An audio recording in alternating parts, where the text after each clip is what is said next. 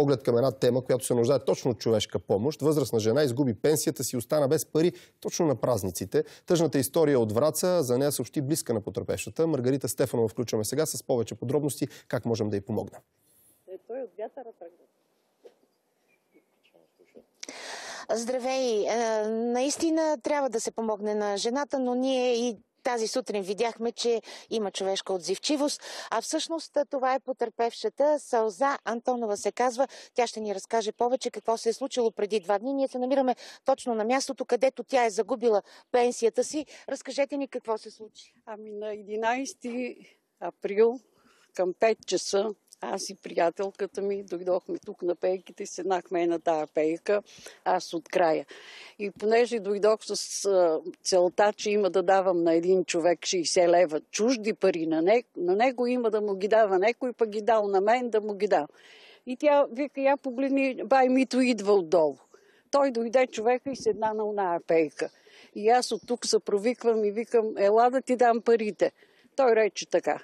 Аз станах от пейката, бръкнах в джоба, извадих, е тук беха неговите 60 лева. А останалите моите пари беха в другата половина на, на това калъвче и явно са паднали е тук. Колко бяха останалите? 320. Пенсията ми, това беше остатъка от пенсията ми. И така, като се прибрах в къщи, разбрах, че че ми нема парите. Сутринта в 6 часа дойдох тук, гледам по пейките, обикалях, нищо не намерих и се примирих. Казахте, че не сте спали. Две нощи. Две нощи не съм спала от мисълта, че парите ми са отишли за месец и не без какво да преживея. Докато тая нощ не съм спала от умиление и вълнение, че има толкова добри хора. Новината беше споделена първо от една от кабелните телевизии, да, след да, това да. в социалната мрежа, но това е Литка.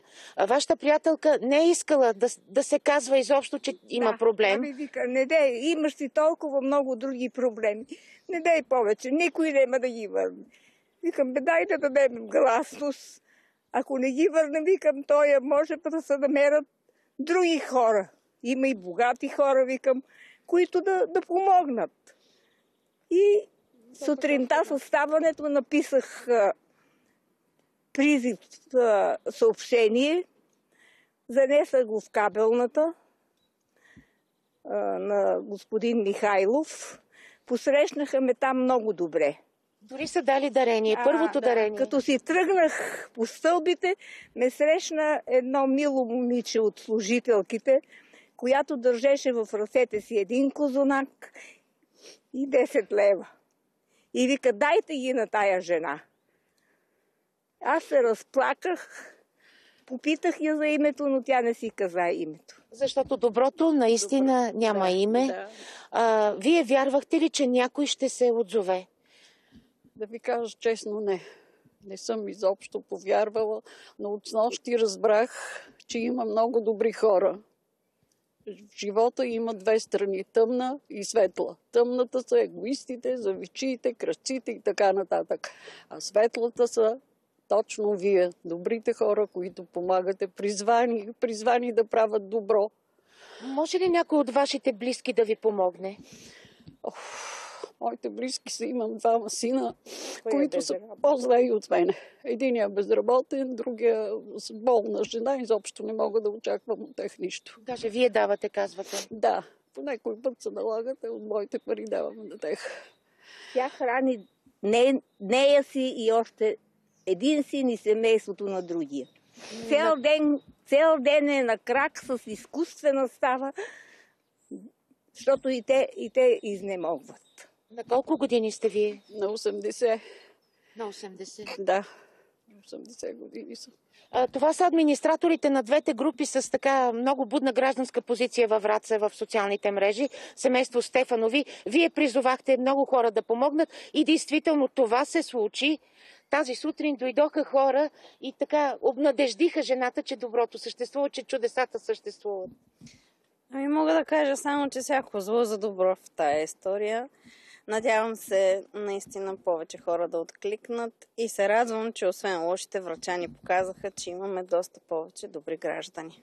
А, нека да видим. Ето ги добрите граждани. добро. Вие идвате. Ние искаме да дарим на жената нещо, за да може да си посрещне празниците, да се успокои и да бъде жива и здрава. Трябва да ви кажа, че това се случва не заради това, че а, камерата е тук и снима. Как се казвате вие? Да ви Габриела благодарим съм от сърце. аз, тук съм отраснала. Да, на Христинка. И прочетох, представих си моята майка, че може с нея да се случи. Благодаря ти сърдечно, миличка.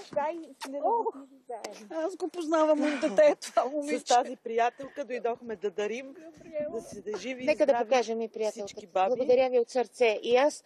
Ами, може би последни думи, Петър. Доброто съществува. Дойде тук и представител на Сдружение Бъди добър, прави добро, Майя Методиева. Тя възстанови дори цялата сума на жената, която Да, е да, загубила. А, с мен се свързаха доста хора, които не можаха да, да реагират веднага за толкова ранен час и призоваваме хората в групите, ще бъде качено за преследващата седмица, къде да досъбереме все пак средства за жената и се надявам наистина на добър отклик и добро развитие в цялата ситуация. Нищо, че за жената е лоша ситуацията. За сега това е лошо да се претърпя превърне. пълен щастлив Точно. обрат Да. за Да, по-малко от живота 24 ми. часа. Обрат, пълен обрат. Пожелаваме ви здраве. Дай и на Боже, вашите синове, И на вие на болната здрави, жена да и вие оздравее. живи И здрави. Какво да кажа? Кажете ми, уважаеми зрители, какво а, да кажа, когато зло, доброто се случва пред а, очите ни и тази жена, която загубила цялата си пенсия в един момент, човекът, който най-вероятно е взел парите, все още не ги е върнал, тя се е обърнала и към полицията. Така че това е. Чудесата се случват преди Великден. Аз ви желая светлина и добро.